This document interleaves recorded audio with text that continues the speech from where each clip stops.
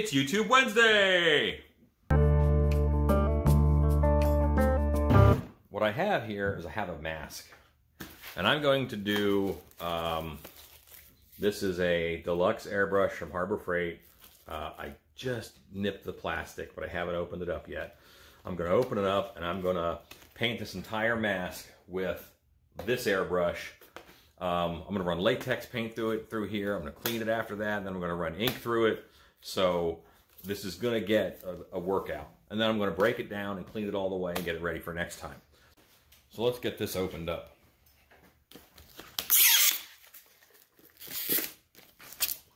I'm not a packaging saver.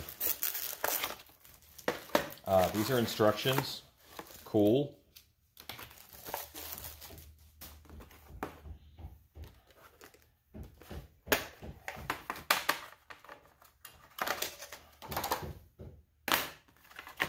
So for me, this here, um, I take this back piece off right away. And I don't keep that. Uh, I take the cover off. I don't keep that.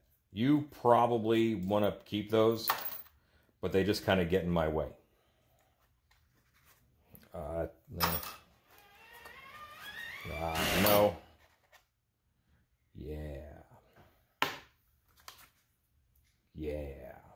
All right.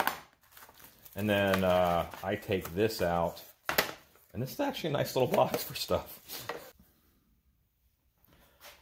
From my compressor, all right, um, I have just a line with a quick connect. At the end of that quick connect, that female end, I have a male splitter here that goes to two different airbrushes. Uh, one goes to this air. This is the same setup I use for makeup and for painting. Uh, one goes to a Harbor Freight $10 quick change airbrush. Not going to mention that much right now. And the other one goes to this airbrush, which is a Paasche H, which is a single action airbrush that I use mostly for mask painting because it can handle thicker stuff no problem. Uh, but I'm actually going to take off the H today and put on the uh, Harbor Freight Deluxe Airbrush. This is a, now this package is dirty. It's been in my drawer for a while. This is a Harbor Freight hose that I always buy. It's a longer hose. Uh, it's 10 foot. Um, so I always get that. But also on it is the connection that you need, because this piece comes with it. This is the connection that you need to go from your quarter inch, which is right out of your compressor, to other quarter inch fitting. So let's get this guy opened up and assembled.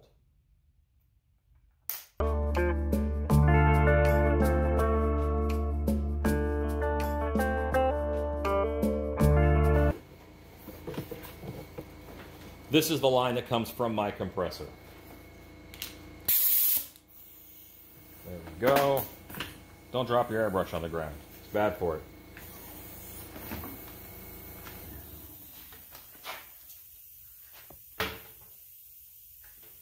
I should. Plenty of air. So in this airbrush, uh, I'm about in this bottle that comes with the airbrush. I'm about to put green latex mask paint. I'm not straining it or anything.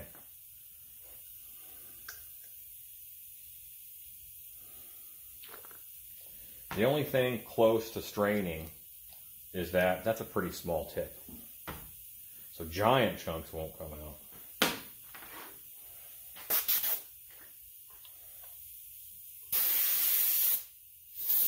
And it goes right away. All right. So I'm actually to back this up a little bit. My needle back means I get a wider cone pattern and I get more paint coming out.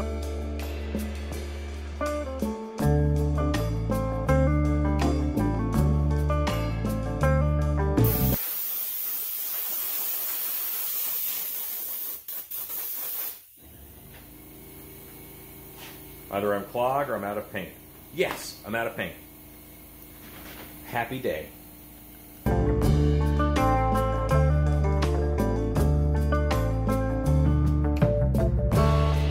Alright, so now I am waiting on that to dry.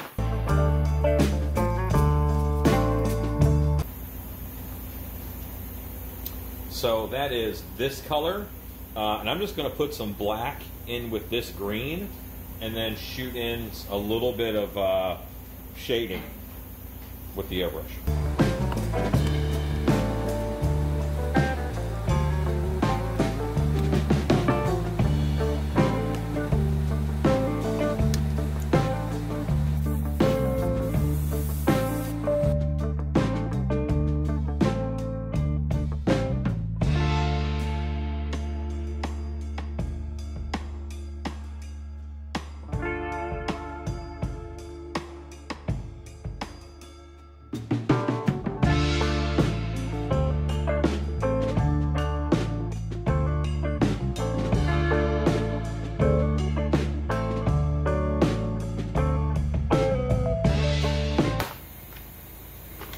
That's a magic trick.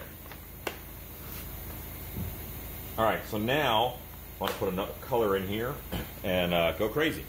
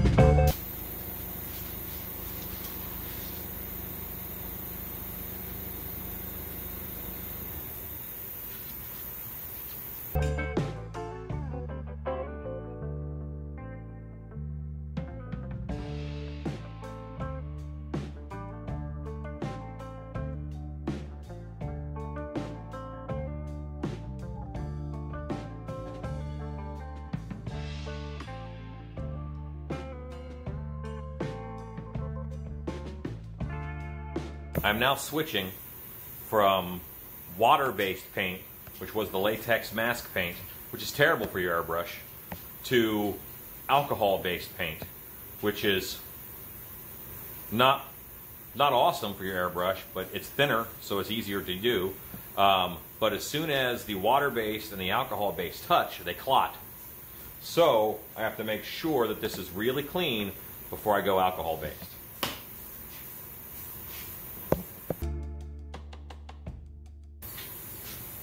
I have rinsed this out with water, and now I'm going to rinse it with alcohol.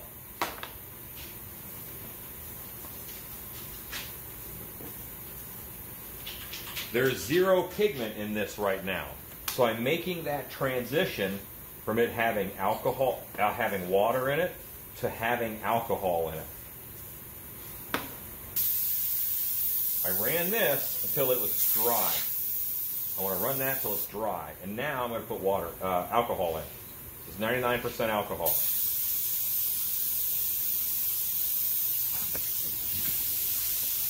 If this flows through pretty good, kind of no problem, then your ink ought to work.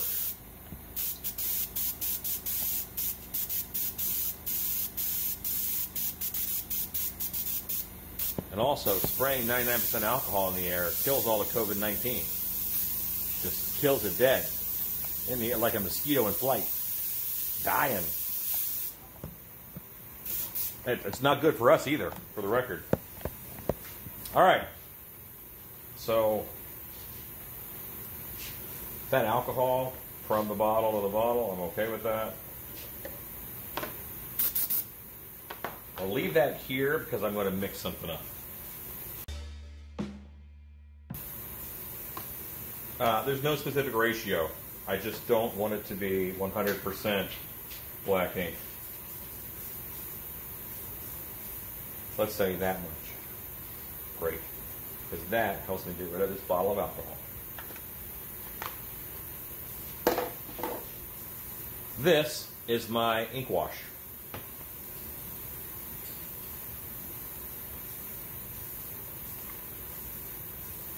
I'm looking at how it goes up on the sides and how thick it is. That's what I want to see. The mask is back and it's all dry. Uh, and now we're done with water-based paint on it. We're going to go to alcohol-based paint. And this is the ink wash I just mixed up.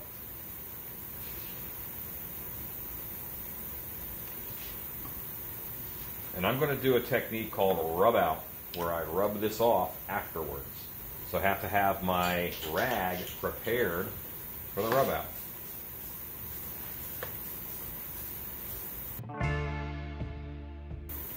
Airbrush is full of alcohol and ink, roughly, let's say 15% ink to 85% alcohol. Hope that math was right. And now I ruin my paint job. Just ruin it, or wreck it. Like the Wreck It Ralph of paint jobs. Make sure this is good and wet. Now I'm rubbing that off. That's going to leave me with some black, and that's why I painted him brighter than I thought he should have been. Because I can leave that black on there and get exactly what I want. And if I don't like how much black it has on it, I just wipe off more.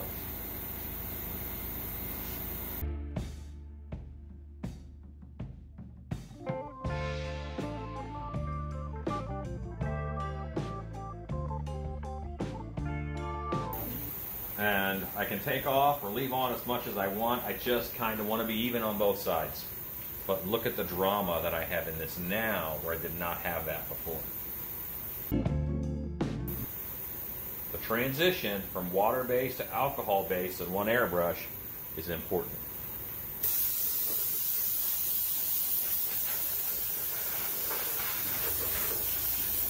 Important that you don't mess it up. You rush it, you don't clean, then you clog.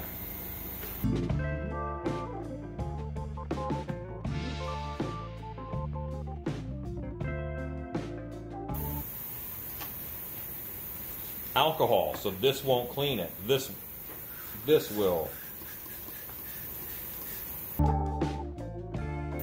I'm clean. Good thing is the alcohol evaporates pretty fast. Once again, I'm going to run that till it's dry alcohol. Not that hard to do.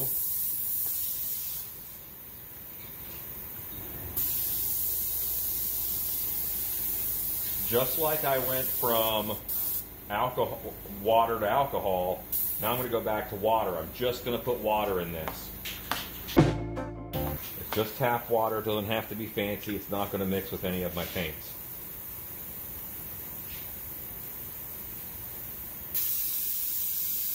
sprays water. We're good. But there wasn't a lot of pigment in there, remember.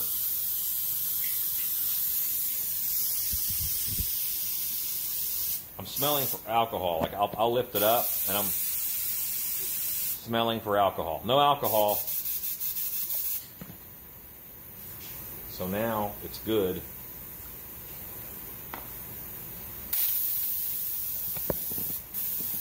It until it's a little dry.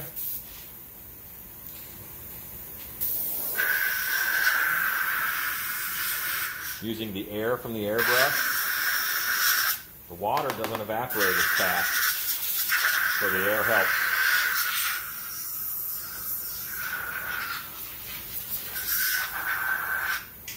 Okay, now I'll grab the uh, high gloss. The gloss I'm going to use is Liquitex High Gloss Varnish.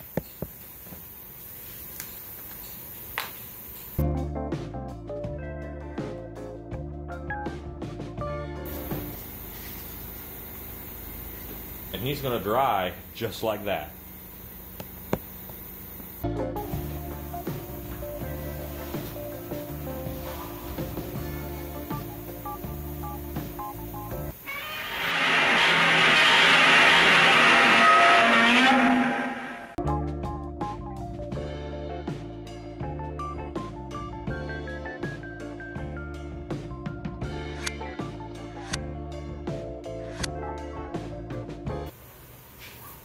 Shooting YouTube Wednesday right now. But it's Tuesday, and that means I'm up till YouTube 2 in the morning editing this video. That's Rob coming out of the bathroom. He made stuff. Bye, guys. You don't want what he made, though.